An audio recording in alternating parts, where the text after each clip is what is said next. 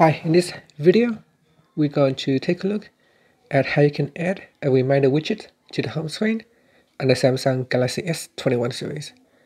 Now first, let's tap on the home button to go back to your home screen. On the home screen, touch and hold, and then tap on widgets at the bottom.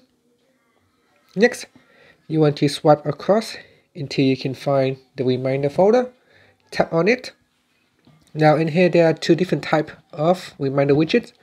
One is that it will show all reminders and another one is a selected reminders. So let's uh, first select the older reminders widget to the home screen. And in here you can also readjust the widget size by changing the handle size on the right or on the left or the bottom or at the top. Now let's also add the other widget. So I'm going to touch and hold, then tap on widgets, and then tap on reminder. And I'm going to swipe across and select selected reminders.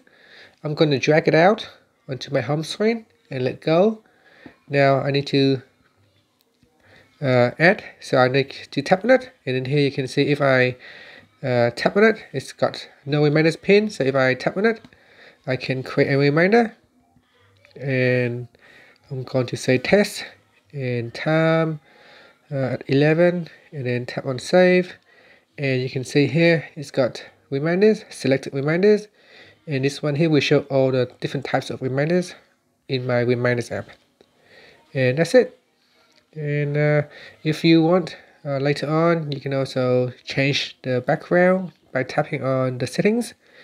Uh, in here you can change the background to white or black you can also change the transparency background transparency.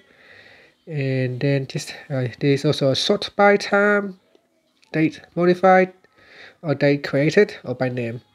And then tap on saved. And that's it.